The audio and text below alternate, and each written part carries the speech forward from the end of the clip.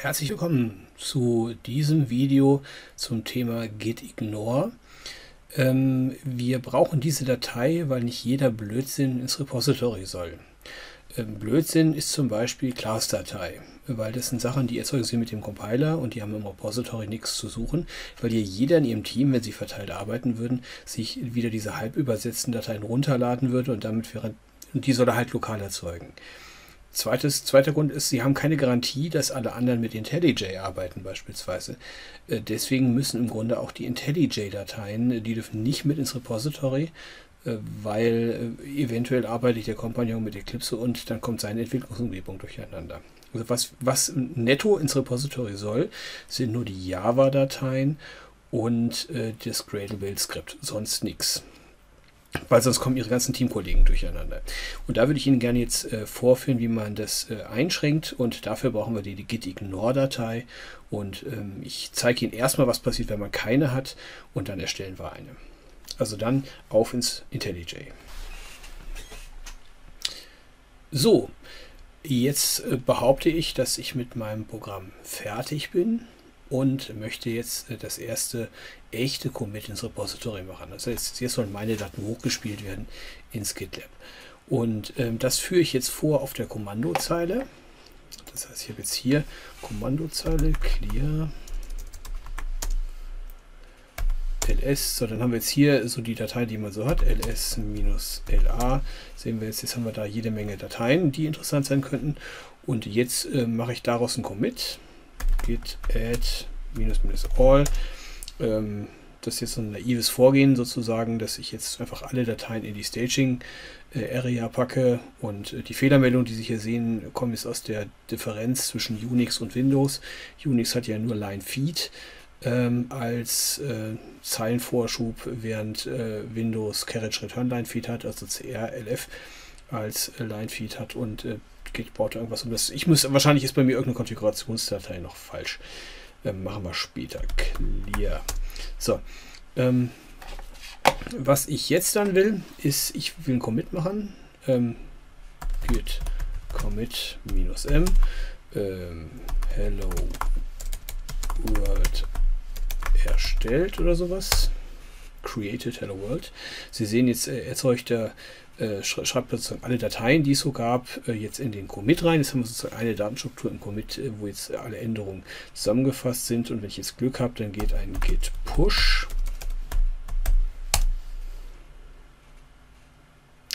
Das scheint durchzulaufen soll. Jetzt, wenn wir jetzt ins zentrale Repository schauen, dann schauen wir mal, was da angekommen ist. Das heißt, ich habe jetzt mal naiv gearbeitet und ähm, einfach mal alles rein, alles eingecheckt. Sie sehen hier zwei Commits und jetzt sehen Sie, pah, naja, Idea, Bild ist drin und im Bild, äh, wenn wir da mal durch, da haben wir auch alle möglichen Class-Dateien drin. Ähm, also das äh, war wohl offenbar ein schwerer Fehler, das zu machen, weil jetzt habe ich in meinem Repository jede Menge Blödsinn eigentlich drin, den ich nicht brauchen kann. So, und wie kriege ich das jetzt abgestellt? Und zwar für immer. Äh, und dazu habe ich jetzt mich jetzt hier bewusst mal ins ähm, ins zentrale Repository gewechselt. Das Schöne ist, Sie können hier mit Plus ähm, so tun, als wären Sie ein zweiter Benutzer und dann eine eigene Datei äh, dazu hängen. Das heißt, was man jetzt machen kann, ich kann hier sagen New File. Äh, das heißt, jetzt mache ich im GitLab eine Datei auf und äh, sage jetzt hier, das soll bitte, ähm, kann ich hier sagen, das ist bitte meine gitignore-Datei, so soll die heißen. Und äh, da hätte ich jetzt gerne ähm, zum Beispiel alle Gradle-Artefakte ausgeschlossen. Ich kopiere mir das mal in die Zwischenablage. Ich habe es jetzt hier nicht hingekriegt, ähm, sozusagen Gradle und Java gleichzeitig hinzukriegen. Deswegen mache ich hier nochmal schnell ein anderes Template, nämlich das für Java. Für Java. Und hänge da noch das Gradle-Zeug dran. So, jetzt gehen wir die Datei mal durch. Was haben wir denn jetzt hier, ähm, was haben wir denn jetzt hier angelegt? Die Datei heißt gitignore erstmal, das ist das Wichtigste. Dann haben wir hier, dieser Lattenzaun ist ein Kommentar in gitignore. Das heißt, da kann ich ein bisschen sagen, was ich ausschließen will. Und hier, was ich jetzt hier schreibe, ist Stern.class heißt, bitte alle Stern.class-Dateien sollen nicht mit ins Repository. Jetzt habe ich hier Log-Files, Log-Dateien sollen nicht drin, BlueJ-Files, äh, ja, das kann ich eigentlich, äh, wir haben hier kein BlueJ, das lassen wir mal raus. Mobile Java haben wir auch nicht, also machen wir die Datei nicht komplizierter als sie ist. Und sowas wie eine jar-Datei, var-Datei, eine nar-Datei und so weiter, das sind alles so, so Dateien, die der Bildprozess in Java erzeugt, die sollen auch nicht gespeichert werden. Die machen wir nachher über das Artefakt-Repository. Das ist so ein bisschen eine andere Ecke.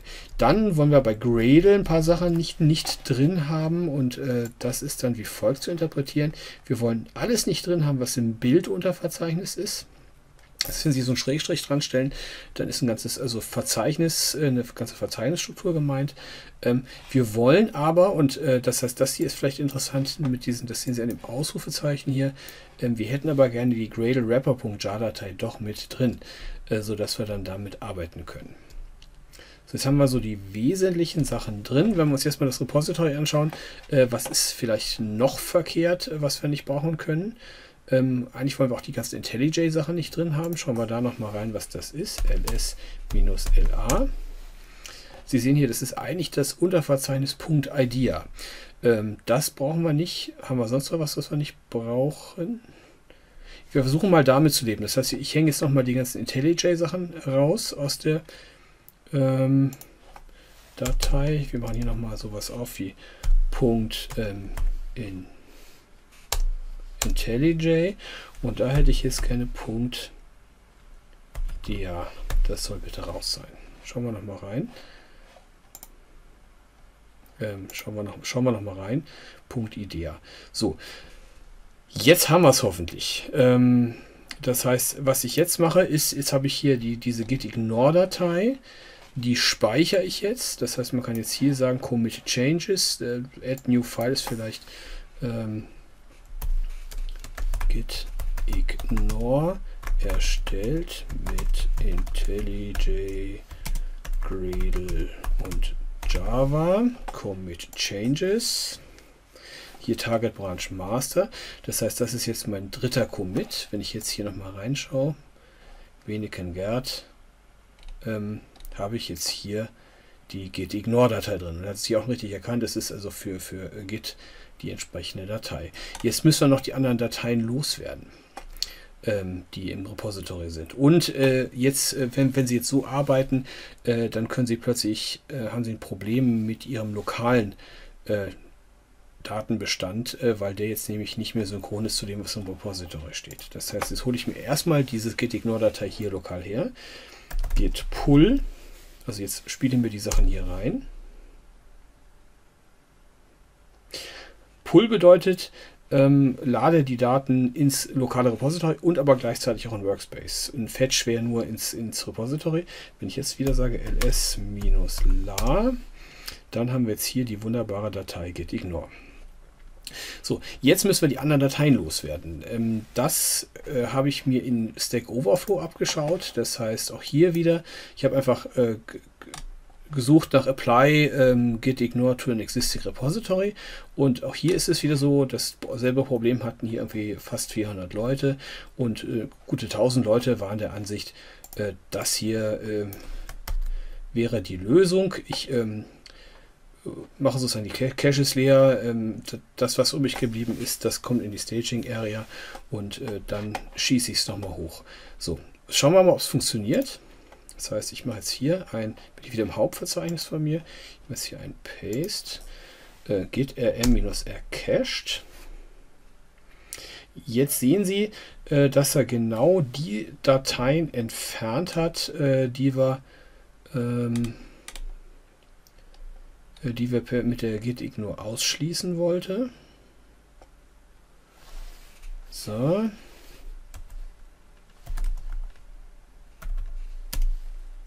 Punkt. Machen wir das mal.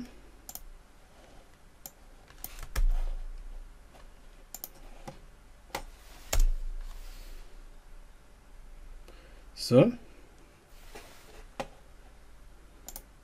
Und dann ein git commit paste.